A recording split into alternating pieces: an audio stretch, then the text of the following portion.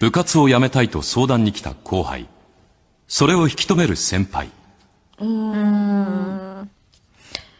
いや、まあ、でも一応、レナヒョン後輩だからね。ちょっとしか変わんないけど。は子先輩だから。でもそこは忠実にしましょう行きますかか。それはそうしましょう。あ私は部活を辞めたいんですね。うん。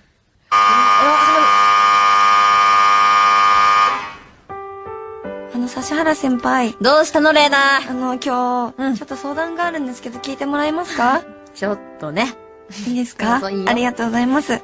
あの、部活を、ちょっと、レナ、言わせない。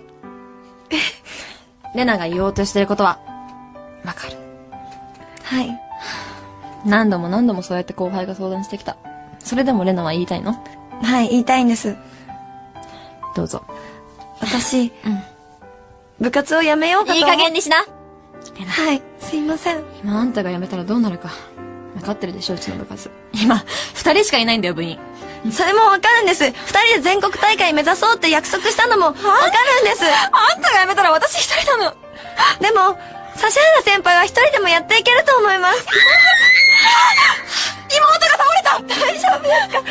やっぱり、の妹は体が弱いの。やっぱり、ここは、指原先輩も部活を辞めて、妹さんの看病をするべきだと私も思うんです。だから私は部活を辞めようって。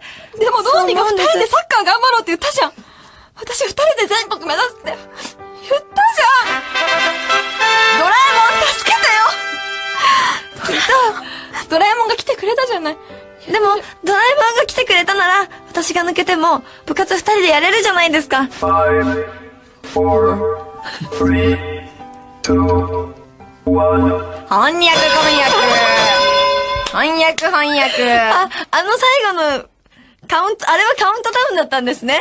何かが起きるのかと思いました。でもこれうまくいったくない？結構うまくいきました。うまくいってんじゃんやっぱサッシーすごいですよ。いやめてそういうこと言うの。やいや、やめてよ。でも楽しかった。いや、よかったです。こんなに、レナちゃんやっぱ上手。ね褒め合い。どう出てくるかわかんないからめっちゃ怖いですよ。